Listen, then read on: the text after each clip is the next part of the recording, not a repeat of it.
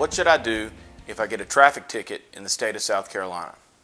My name is David Aylor. I'm a criminal defense and personal injury attorney out of the Charleston, South Carolina area, and I'd like to explain a few things that one should make sure that they follow when receiving a traffic citation in the state of South Carolina.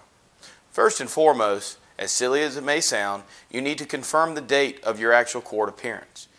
The date will be written on the ticket, however, sometimes that date may change. So it's very important, at least one week prior to your court date, to call the clerk of court's office for the ticket and confirm that that is your actual date. If in fact you need to get a continuance due to a conflict, that needs to be done in writing to the clerk of court and make sure that is confirmed and continued by the court before not appearing for the initial appearance. When going to traffic court, if you'd like to speak with the officer prior to the actual date and hearing time, it's very important to appear early. See if the officer will take a minute to speak with you regarding the ticket before you have to get in front of the judge. Once in front of the judge, you want to speak very clearly and calmly and dress as appropriate as possible for the court hearing. If you feel like that you are not guilty of the violation, it is important to plead not guilty. However, if you're just looking for a reduction due to the violation that you did cause, then simply tell the judge that and move forward. Usually, the officers in most circumstances will work with you in regards to your ticket cost and sometimes the points as well.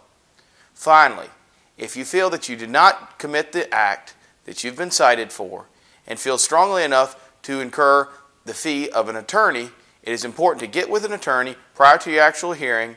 Then the attorney will handle the court appearance and guide you as to what you need to do proceeding forward with the actual court hearing.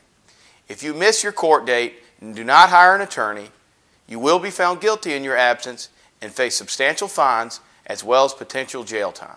I share with you these basic tips regarding traffic court so that you may have a better understanding of the criminal justice system, specifically traffic court, here in the state of South Carolina.